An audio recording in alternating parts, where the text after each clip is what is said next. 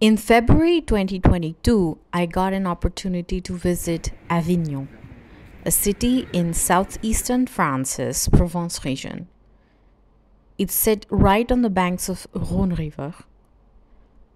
The specialty of this place is from 1309 to 1377. It was the seat of the Catholic popes. It remained under the papal rule until becoming a part of France in 1791. And this legacy can be seen in the massive Palais des Papes, or Pope's Palace, in the city center. The whole city is surrounded by medieval stone ramparts. So let's visit Avignon together. Thanks for watching.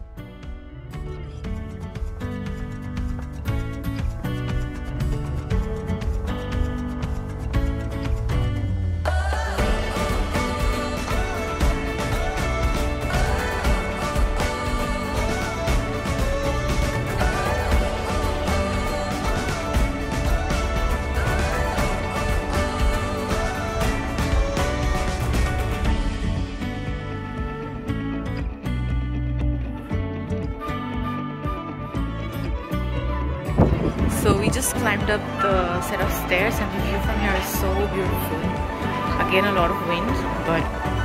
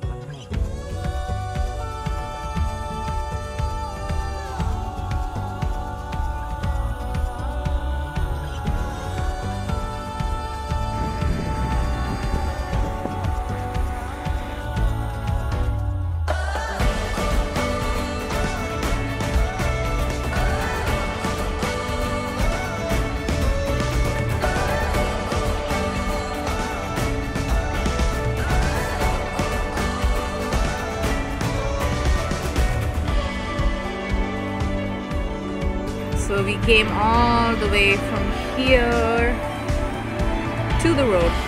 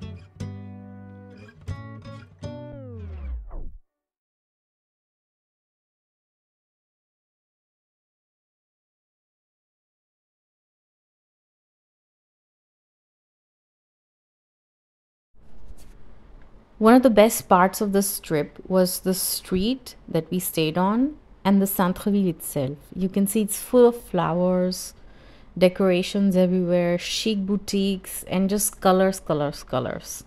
We were staying on the Rue des Teinturières, which is street of the water wheels. It gets its name from the intense textile industry that flourished here between 14th and 19th centuries. It could even be said that this street and this quarter alone in themselves embody nearly the whole history of commonplace life in Avignon. There are so many churches and chapels everywhere. Literally every corner has some religious building, which makes the city very peaceful. And I had this feeling of being protected by all this energy that surrounds these walls.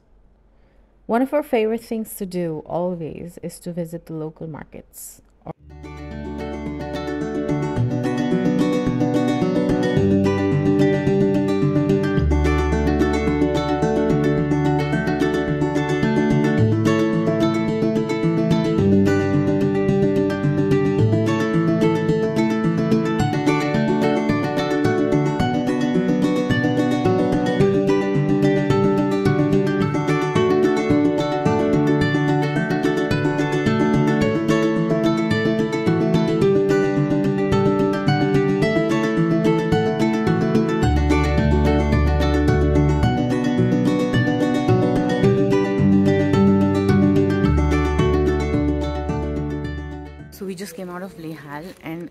So many things to eat and to see and to try. Oh my god.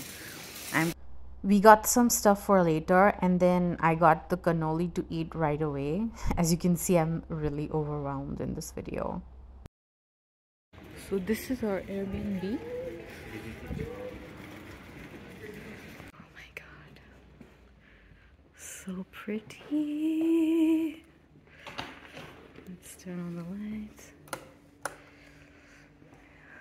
Wow. That's the kitchen. Hi. I think it's like a loft, right?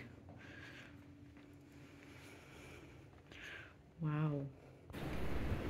So after a long day, we finally came back home. As you can see, the whole day, even at night, was very windy. So I just wanted to chill a little bit. So I went to the bar downstairs, had a beer. Max was super tired, so he went to sleep. So I was by myself for a while. Very vibrant bar. And here's a bonus clip at the end of the flower street that we saw earlier. I just couldn't help myself but film all of this beauty because they were so fresh and so vibrant and colorful and just wow. So, for my own memories, I decided to keep this at the end. So, stay tuned for the part two of the video coming soon. Ciao!